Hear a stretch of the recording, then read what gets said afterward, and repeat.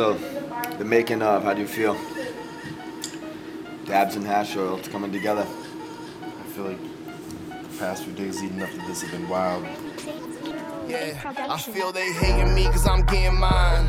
But what they don't realize is I've been here for a minute, and that's a long time, and I'm with it. I came from the smaller state, and I did it. I keep my brim low on my fitted. I got the managers, other managers, this manager, that manager, this person, that person, hotels, flights, people, arriving on Egos. time, egos, DJs, club owners, paperwork, all being done with a couple of hands.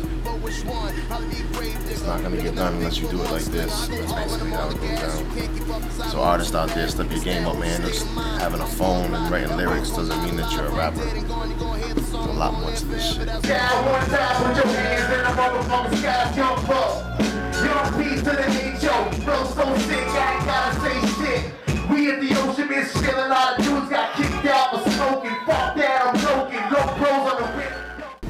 Us about how you got N.O.R.E on the track. me and N.O.R.E met through the pharmacist, and um, we did a couple of the Cannabis All Stars for him, which is a big thing out in New England. And um, this is the, the skunk right here, Funk, for the pharmacist, you know, Rhode Island. But um, so we did the All Stars twice, and we kind of grew a little relationship, and we, we wanted to do a song, and we just waited for the timing to be right, and then uh, the pharmacist made everything happen pretty much with uh, N.O.R.E's people and set it up, and N.O.R.E came right to my house studio, and we chilled, shot guns, recorded a banger. Now we're about to shoot the video. Got the album release party tonight at the Omis. It's October 3rd. Tell us about how long you've been working on this track.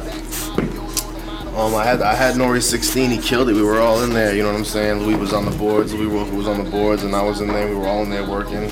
He laid us 16, and my boy Killer Kai from Cali made the beat. Who's um Faith Evans' nephew. He worked with Young Jeezy, Busta Rhymes, Robin Thicke, some big names. He did the production, and um, N.O.R.E did a 16, and I sat on it for a while because I was really confused. I had my 16 ready.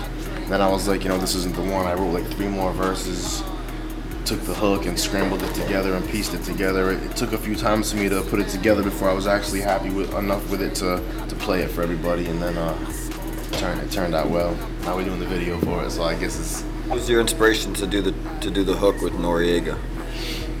Um, right now, what's going on with like you know the community of like ma- medical marijuana and what's going on and like the lifestyle, like no rappers really brought to the table, you know what's going on with the whole dabs and hash oil scene. You know what I'm saying? Some people, you know, they talk about weed a lot, flower a lot, but um, you know, the hash oil and the dabs is like a, a whole different movement that's popping off. It's um, it's serious, you know. Read in, read into it, do your Google research. I don't want to give you too much, but there's a lot of people already hip to the game, but there's also a lot of people that don't know what it is yet. So me and N.O.R.E gonna bring it to that that bigger platform and, and uh, introduce it to the world. You know what I'm saying? And then tonight we're shooting the videos. Anybody you want to thank for making this happen?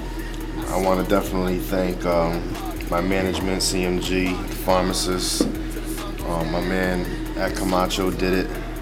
Camacho, Louis Roca, Smiley, Flawless Visuals, um, Phokus, Norman Bates, me, myself, and I.